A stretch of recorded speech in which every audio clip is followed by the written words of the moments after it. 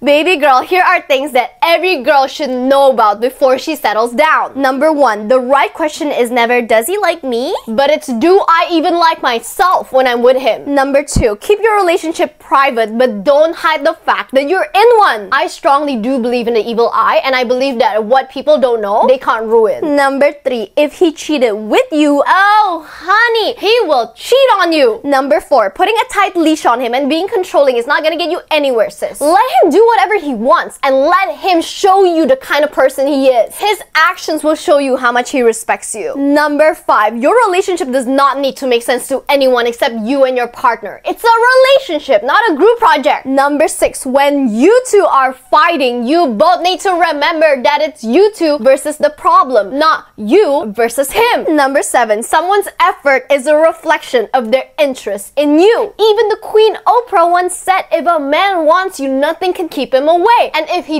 doesn't want you, nothing will make him stay. And last but not least, number eight, and I think this one is the most important one, so listen up. Whatever you tolerate while dating will multiply 10 times in marriage. Marriage doesn't fix dysfunction, it reveals it all. So don't marry potential, marry reality. So yeah. Okay, I love you always. Bye.